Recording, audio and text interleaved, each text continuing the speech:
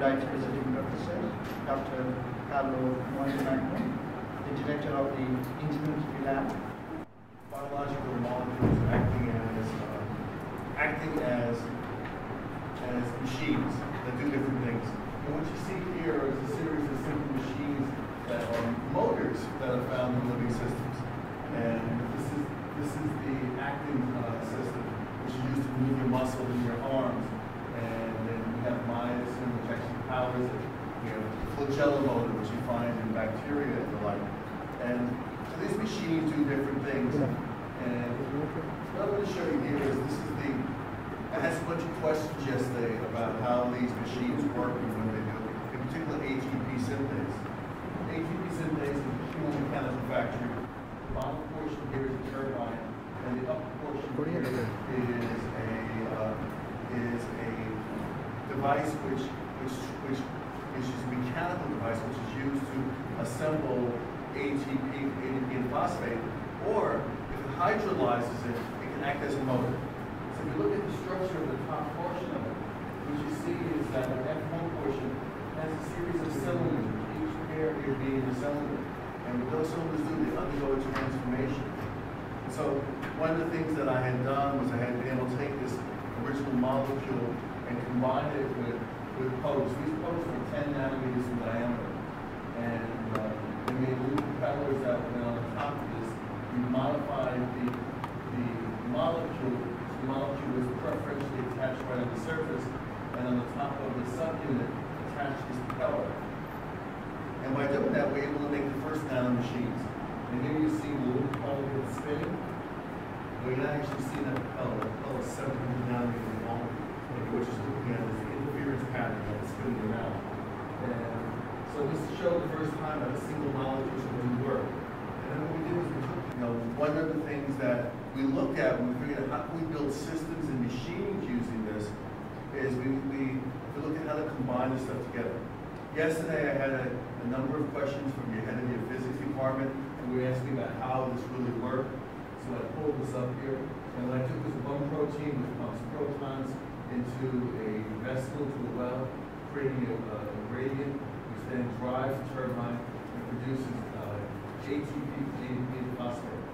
On the pillar, what you do is you feed it ATP, and then it gives the waste product of ADP and phosphate, and it secures the energy to force the rotation. So we looked at building this and making making machines that we put them all together, and we assemble all these machines to, to capture and concentrate things.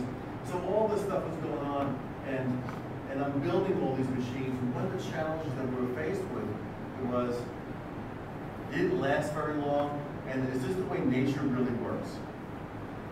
We'll get to the computer. This is the way nature really works. And and the answer is that nature doesn't work as a clockwork. All right? It, these molecules that work together, they, they work in a way that's different. Now, now I showed you all yesterday this uh, this uh, little uh, neutrophil, which was chasing bacteria, and I discussed how it was making decisions by communicating with each other by uh, through chemical interactions. That when chemicals interact with one another, they transform, and they transfer information.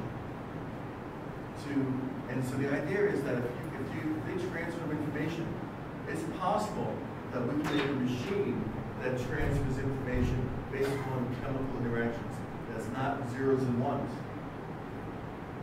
Now, to further highlight that, what, you're seeing here is is uh, a budding yeast cell.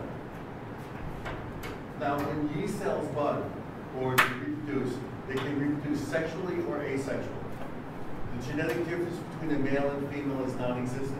How you differentiate between a boy yeast cell and a girl yeast cell is the expression of an individual protein that only the boys have. So the challenge is if only a female cell can bud, how does a female cell, how does a female yeast cell bud and produce a son? Because if she produces that protein, she becomes a he and she can't bud. It's a conundrum. And so one of my colleagues was, who studies the physiology of yeast, uh, able to do collectively very, very complex tasks. Now I know I love driving here in, in India when I'm riding in the car and I'm scared to drive here. Riding in the car here in India, you know, and because I don't know how to speak horn. That's one of the things I think you have to learn when you come here. You have to learn to speak horn. But when you're driving in a traffic jam, what happens is, is that the traffic looks like it's all random. And everybody's doing, and I know when, when I was riding here this morning, we're cutting in between cars, between lanes, and one over people standing in the street, and you're not supposed to hit another car. But collectively, the whole organization flows, right? Everything flows. And that comes as a result of, of the transfer of knowledge of, through local. That's part of the challenge, is because you'll see, we go through it. And, know, if you look at the local information systems, you see that our brains that we have, that they, they evolve. Then we have a system now of where you power it with green light, and then you can interrogate it and stimulate it using a, uh, a femtosecond pulse laser system that you can that you can use two photon excitation within particular regions of the interior of the device. So the end result is you have a system which is a cube. The one that we're building is about 300 microns on the size. We have on the surface of the cube arrays of those electrodes that we that we that we discussed and we, we got that. And we we interrogate the system with a uh, with a long-range optical system that we're building that goes and interrogates and stimulates. How we extract out the information is, is, is what we're working on right now in terms of analyzing what the information needs. The initially, our thought is that the system is going to be a, the system is going to be a, uh, it's going to be a random system in which we interrogate and look at all the outputs, and from there, whether the logic operations occur as we gain in- insight into what's happening. Anyway, so thank you all very much. Uh, That's snow, in case you guys don't know what it is. Is that you? You have to, you have to work fast to get this, build the system and reassemble the system.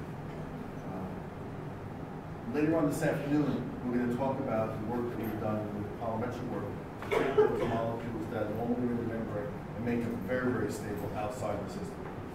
And, and, and so at 1.30, I'll show you, I'll show you a technique that we've developed to be able to do that, and how we incorporate those, this technique to incorporate up with other materials. When we make this kind of artificial systems, the the concentrations of the ions, like for example, potassium and sodium ions, will also be very crucial, right? Yes. So how do you uh, really predict the, the, the nature of uh, communication of the information? Initially, we can't control it, it's gonna be random, and so we're gonna be doing an inverse problem, in which we make this, think about having a field programmable array, uh, that somebody programs, and you don't know what they programmed it, and they hand it to you and say, what's this array doing? That's basically where we're gonna be at, is that, um, we're gonna build the system, and then we're gonna do, after it's built, we're gonna say, okay, now what is the system The- what the system? Which inputs cause which type of reactions, what kind of mathematical operations occur through, through interrogation of the entire arrays, three-dimensional arrays and the operations, and incorporate that information. At the very least, what we will do is, I think it will provide some insight into trying to deduce how a brain works, how information is processed and how it understands it, definable in terms of structure and the interactions. You also mentioned about the excitation using the capacity of the laser. Yes. So uh, how about the energy of the incident? Well,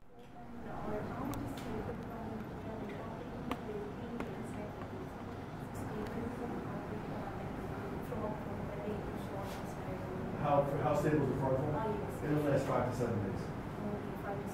So that time, you have to go on We do, we do the experiments and we're done. This is not meant to be a technology, it's meant to be science. And what we're using it in the system to describe it. Way that is defined. It's totally random the way assembled. And I, I suspect that we're gonna be, it'll be, it'll be built in a way that, uh, that allow, allows a more, a more defined way, of the number, where the cells are, in three-dimensional architecture. The second thing we have to figure out is how to make the system stable for more than five to seven days.